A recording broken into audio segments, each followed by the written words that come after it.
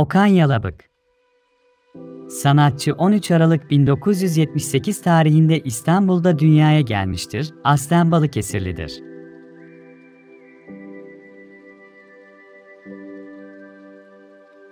Yay burcu olan oyuncu 1.86 boyunda kahverengi saç ve göz rengine sahiptir. Yay burcunun özelliğini taşıdığını söyleyen oyuncu konuşmaktan çok dinlemeyi sevdiğini, ara ara ise kendi kendine sesli düşündüğünü bu durumun ise elinde olmadığını söylüyor. Düşüncelerini söylemekten çekinmediğini, sadece neyi nasıl söylendiğinin daha önemli olduğunu vurguluyor. İnsanlarla beraber olmayı, yeni insanlarla tanışmayı, onlarla sohbet etmeyi sevdiğini belirtiyor hayır demenin kendisi için zor olduğunu, insanları kırmayı sevmediğini belirtiyor. Sahnede başkalarını anlatmayı, kendisini anlatmaktan daha çok sevdiğini söylüyor. Hoşgörüsüzlüğün kendisinin kırmızı çizgisi olduğunu, abartının hayatın bütün yönleriyle yaşamayı zorlaştırdığını belirtiyor. İnsanlar arasında hoşgörünün tahammülün azaldığı, İnsan hoşgörüsünü kaybedince sağına soluna duyarsızlaştığından rahatsız olduğunu söylüyor. Fotoğraf çekmeyi sevdiğini belirten oyuncu, kendi yaptığı müzik stüdyosunda vakit geçirmek, parka gitmek gibi hobiler edinmiş.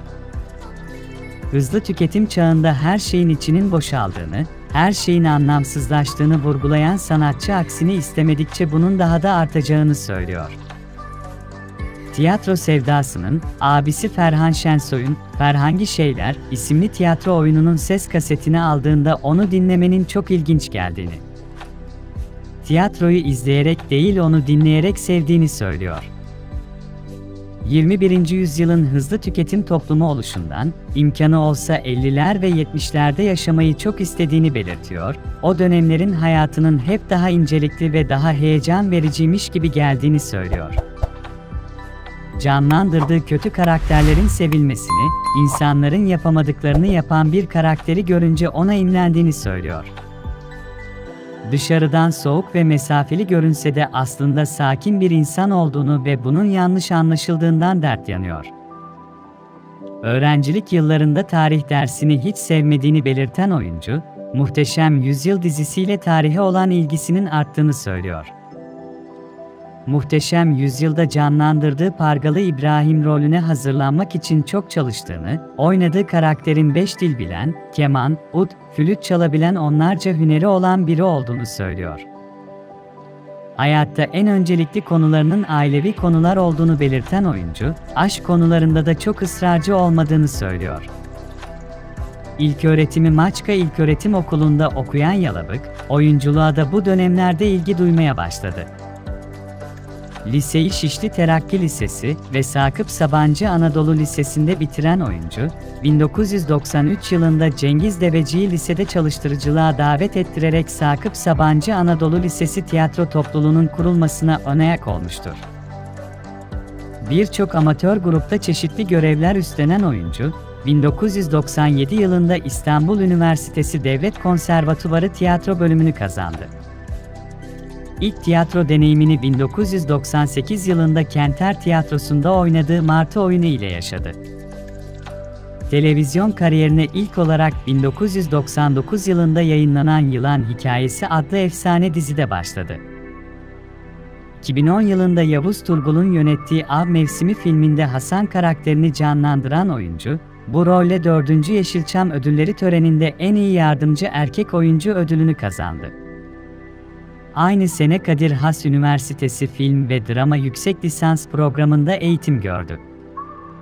Çeşitli reklam ve animasyon filmi seslendirmeleri yapan Okan Yalabık, Uncharted 3, Drakes Deception oyununun Türkçe dil seçeneğinde ana karakter Nathan Drake seslendirmiştir. 2011 yılında yayınlanmaya başlayan Muhteşem Yüzyıl adlı tarihi dizide Pargalı İbrahim Paşa rolüne can verdi. 82. bölümde diziden ayrıldı. Ancak dizide sonraki bölümlerde senaryo anlatıcısı, dış ses olarak bulundu. 2015'te ATV'de yayınlanan, konusu 1970'li yıllarda geçen, Mehmet Ada Öztekin'in yönettiği Analar ve Anneler dizisinde oynadı. Yalabık, 2016 yılında Balkan Savaşı'nın geride bıraktığı etkileri beyaz perdeye taşıyan, Ozan Açıktan'ın yönettiği Annemin Yarası filminde Mirsat karakterine hayat verdi. Aynı yıl Bülent Üstün'ün aynı isimli çizgi romanından uyarlanan Kötü Kedi Şerafettin isimli animasyon filminde Adnan ve Çizer, Kung Fu Panda 3'te ise ana kahraman Po'yu seslendirdi. Av Mevsimi filminde canlandırdığı Hasan rolü sayesinde 4. Yeşilçam ödüllerinde en iyi yardımcı erkek oyuncu ödülünü almaya hak kazanmıştır. 2017 yılında Masum adlı dizide Tarık karakterine hayat verdi. 2019-2020 yıllarında Netflix'in ilk Türk yapımı olan Hakan Muhafız'da Faysal Erdem karakterine hayat verdi. Şu anda Kanal D'nin dizisi Hekimoğlu'nda Orhan karakterini canlandırıyor. Bu bölümün de sonuna geldik. Hazırladığım videoları beğeniyorsanız bana destek olmak için kanalıma abone olup videolarımı beğenirseniz beni çok mutlu edersiniz. Peki siz Okan Yalabık'ın canlandırdığı en çok hangi karakteri seviyorsunuz? Yanıtları yorumlara yazarsanız sevinirim. Sizleri çok seviyorum, hoşçakalın.